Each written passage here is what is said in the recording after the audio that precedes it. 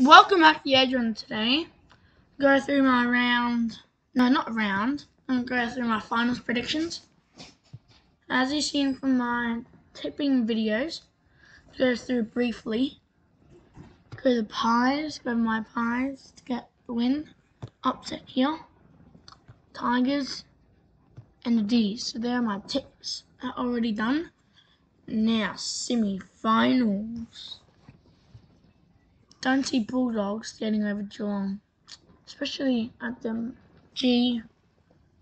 Bulldogs don't stand a chance. Swans, I reckon I might go for an upset. Go with the Tigers, just because Tigers are on. So the Swans actually. They're in really good form. I kind of want to. I kind of want. Yeah, Sydney. Collingwood vs Sydney prelim. Freaking Collingwood. Back in my team.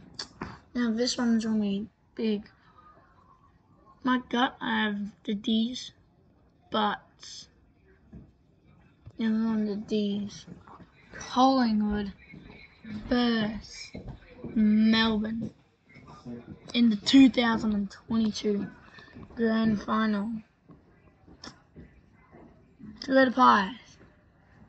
I don't know. I don't know why, but hopefully my team wins.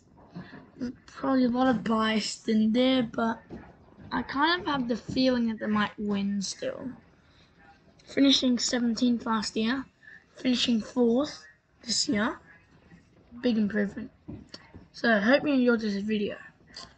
Please like and subscribe. Bye!